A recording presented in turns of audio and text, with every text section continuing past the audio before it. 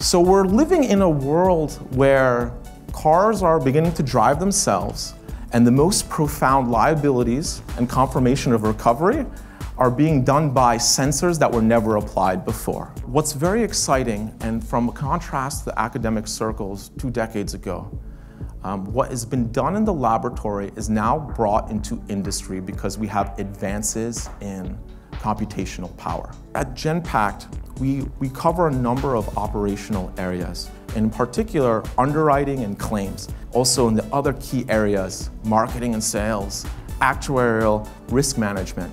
If we were to think how we've been running these processes and how they could be run, for example, in catastrophe risk, are they manually reviewed? Is there a way to combine human-computer interaction with these advanced algorithms to better serve your customers and understand risk? Here, we have an example of, well, instead of manually reviewing the roof,